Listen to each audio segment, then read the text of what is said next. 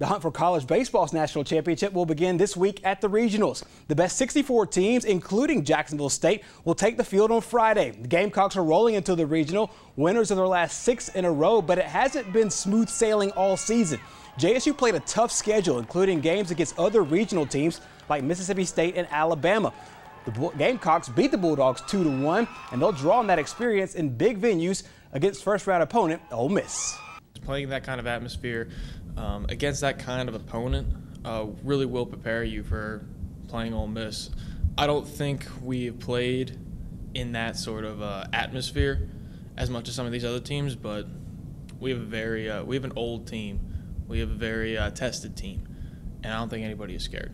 This week of practice is going to be probably more light than most of them. Uh, we're not worried about anything. We've played SEC schools and we have a good record against them. It's, we really aren't scared of anybody. Um, to be honest with you.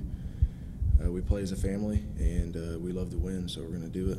JSU will set up shop in the Oxford Regional alongside three schools from power conferences Ole Miss, Georgia Tech, and Washington. The Rebels are right now the number 12 team in the country, and all three of those teams have been ranked inside the top 15 at one point this season.